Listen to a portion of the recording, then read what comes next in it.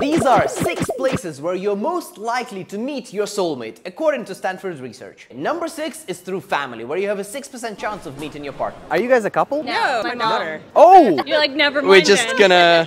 9% are your chances to meet that special someone at school or at college. Are you a couple? 52 years. 52. How did you guys meet? In kindergarten, when we were five years old. Next, you have an 11% chance of meeting your partner at work. No question about it, I am ready to get hurt again. The third most popular place to meet your partner is through friends, with 20% ran out of air. Are you a couple? Used to be. Used to be. What happened, guys? 27% of people meet at bars or restaurants. So like you just all eat and then what? Who stands up to like go to another table? Like Hello. Finish your bread. number one most popular place to meet your soulmate is the internet, with 39% chance. How did you meet? Online and in a strange way. In a strange way. That's as much as you're getting.